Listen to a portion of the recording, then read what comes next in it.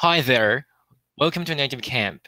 I'm Keita, and I'm here to help you learning English. Since I'm Japanese, I know the difficult part of learning English. Also, I spent one year in Australia, so if you are planning to study abroad or have any some worries, ask me anything. See you in my class.